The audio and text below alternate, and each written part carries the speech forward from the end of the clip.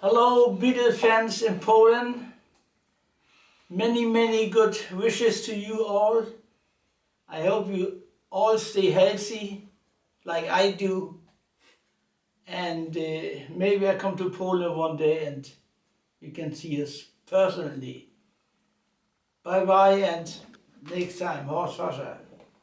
Peace and love. Peace and love.